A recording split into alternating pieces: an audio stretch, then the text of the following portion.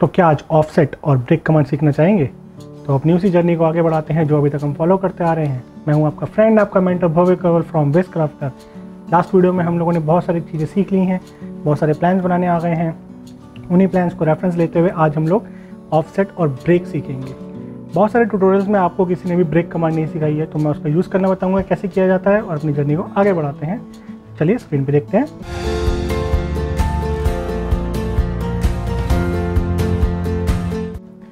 तो गाइस जैसा कि आप स्क्रीन पे देख रहे हैं, इसका भी एक ट्यूटोरियल बना हुआ है यूनिट लिमिट्स के हिसाब से। तो अगर हम इसको यहाँ पे देखते हैं तो alias of offset command is O enter select करने के चार तरीके हैं।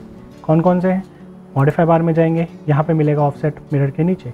आइधर पैनल में जाएँगे, यहाँ मिलेगा ऑफसेट यहाँ पे भी क्लिक कर सकते हैं। आइधर इसका एलियास क्या होता है गाइस ओ एंटर एलियास याद रखते रहिए गाइस ये चेंज भी हो जाते हैं। आगे फ्यूचर वीडियो में बताऊँगा एलियास कैसे चेंज किए जा सकते हैं बट जो डिफ़ॉल्ट एलियास हैं, वो आपको याद होने चाहिए। तो जैसे ही आप ओ एंटर करेंगे ओ एंटर करते ही वो आपसे कहेगा सिलेक्ट ऑफसेट डिस्टेंस ऑफसेट होता है एक स्पेसिफिक डिस्टेंस पे अपने ऑब्जेक्ट को कॉपी कर देना। जैसे आप ऊपर एग्ज़ाम्पल में देख पा रहे हैं, हम लोगों ने एक रेक्टेंगल बनाया है with the help of line command अगर मैं इसमें सेलेक्ट करता हूँ तो ये सब अलग अलग लाइन्स हैं। ये लाइन अलग है, ये लाइन अलग है, ये लाइन अलग है। तो इनको जब ऑफसेट किया है तो वो डिफरेंट डिफरेंट ऑफसेट हुए हैं। जिनके एजेस जो हैं, वो आपस में इंटरसेक्ट नहीं हो रही हैं यहाँ पे। बट ये वाला एग्ज़ाम्पल में एक रेक्टेंगल बनाया हुआ है।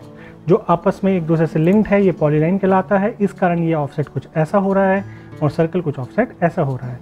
द सेंटर डिस्टेंस बिटवीन जो है इन दोनों के बीच का, इन दोनों में पाँच पाँच का है और इस वाले में दस का है।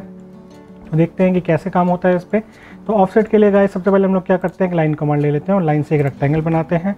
और तो हमारा ऑन है। सपोज़ मैंने 200 hundred by forty by two hundred by forty का एक रेक्टेंगल बना लिया with help of line command okay अब इसको ऑफसेट करना है। ऑफसेट के लिए ओ एंटर जैसे ही ओ एंटर करेंगे आपसे कहेगा स्पेसिफाई ऑफसेट डिस्टेंस एक डिस्टेंस जिस पे आपको ऑब्जेक्ट को कॉपी करना है तो वो डिस्टेंस कुछ भी हो सकता है जो आपको सूट करे। जैसे इस केस में टू हंड्रेड बाई फोर्टी है तो मैं टेन का डिस्टेंस लेके देखता हूँ कि कैसा रहेगा।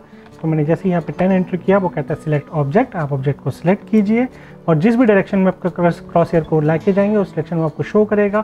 चाहे आप ऊपर लेके जाइए, चाहे आप नीचे लेके जाइए तो आप ऊपर उसे क्लिक कर दीजिए। जैसे इसको करना है तो इसको क्लिक कर दीजिए, इसको करना है, इसको क्लिक कर दीजिए। इस वाले ऑब्जेक्ट को करना है, इसको क्लिक कर दीजिए। तो गाइज़ ये लाइन कमांड से बना था। सारे ऑब्जेक्ट्स अलग अलग थे, इसलिए आपके सामने ऐसी स्क्रीन बन रही है।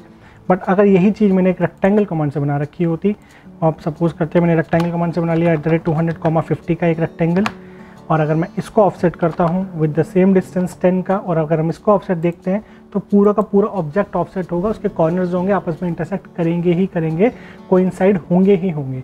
समझ आएगा इस आपको कि दोनों में फ़र्क क्या होता है? तो इसका सिंपल एक एग्जांपल हमने पहले भी पढ़ा हुआ है लाइन एंड पॉली लाइन तो लाइन को अगर हम बना लेते हैं, ये लाइन ऑब्जेक्ट से बना हुआ है और एक सेम चीज़ अगर हम पॉलीलाइन से बना लेते हैं तो पॉलीलाइन से भी कुछ ऐसे बनी हुई चीज़ नज़र आएँगी। इनको ऑफसेट कैसे करेंगे? ओ एंटर करेंगे डिस्टेंस स्पेसिफाई करेंगे टेन का सिलेक्ट करेंगे। तो एक एक ऑब्जेक्ट सेलेक्ट होगा अगर लाइन के केस की बात होगी बट पॉलीलाइन के केस में पूरा का पूरा ऑब्जेक्ट सेलेक्ट होता है। तो ये थी ऑफसेट कमांड की नॉर्मल थिंग कैसे ऑब्जेक्ट्स को ऑफसेट करना है।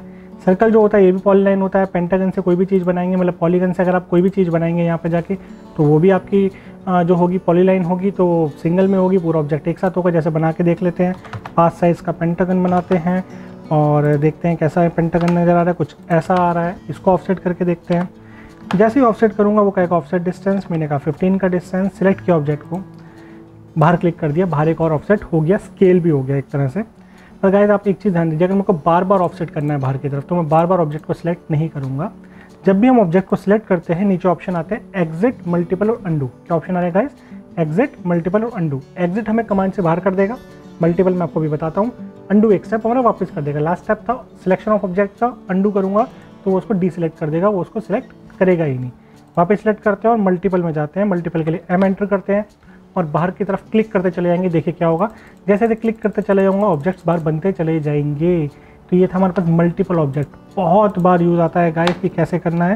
दोबारा देखिए सर्कल पे जाइए सर्कल बनाइए ऑफसेट पे जाइए वैल्यू दीजिए ऑब्जेक्ट को सिलेक्ट कीजिए मल्टीपल के लिए एम एंटर कीजिए और क्लिक करते चले जाइए स्पेसिफिक डिस्टेंस पे आपके कॉपी और स्केल एक साथ होते चले जाएँगे, जिसको हम लोग ऑफसेट कहते हैं। तो आई होप गाइस आपको ऑफसेट समझ आया हो। कभी कभी क्या होता है गाइस स्टूडेंट्स आते हैं कि मैं ऑफसेट तो करूँ बट जो मेरा सोर्स ऑब्जेक्ट है वो इरेज हो जाए तो वो कैसे होगा?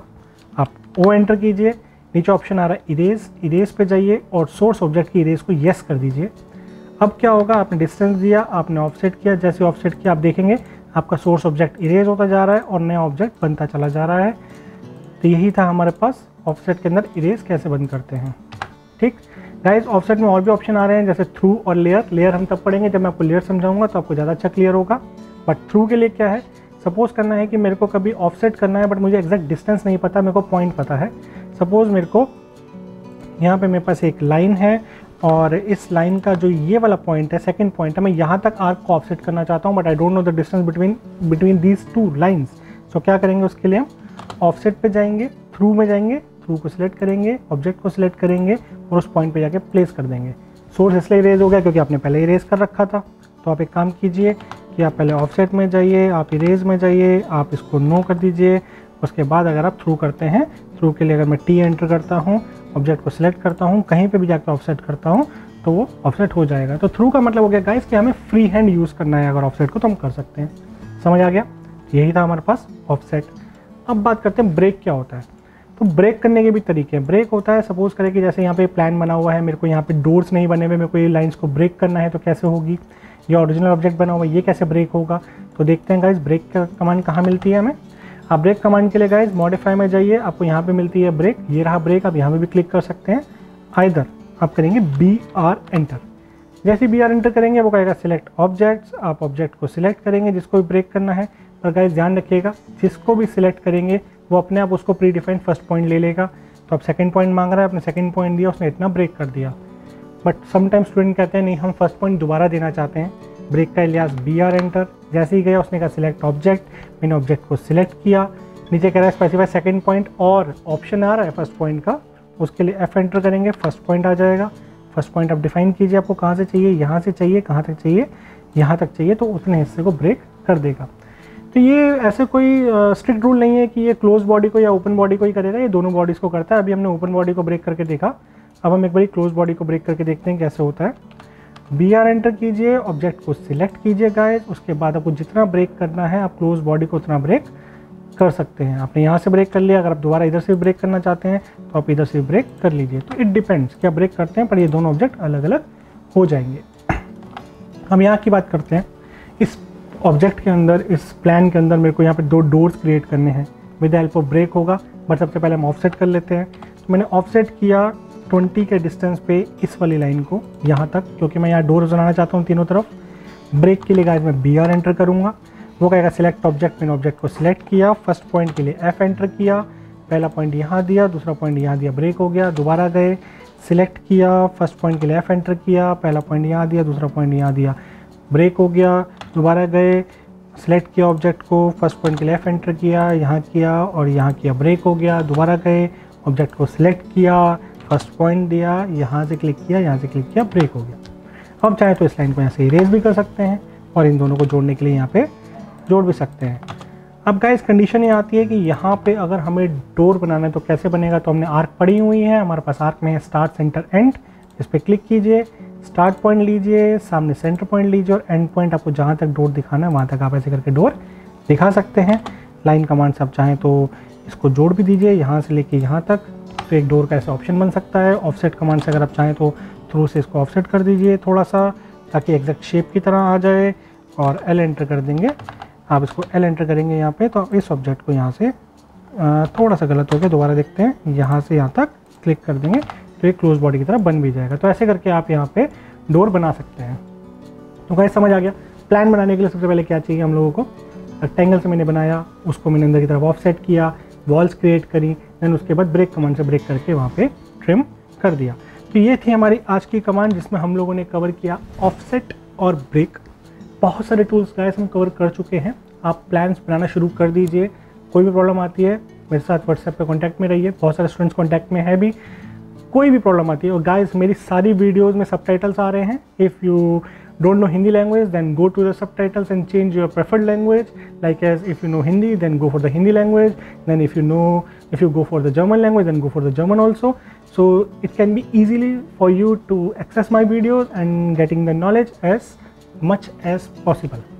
तो गाइज मिलते हैं अपनी नेक्स्ट वीडियो में तब तक के लिए नमस्कार सत आदाब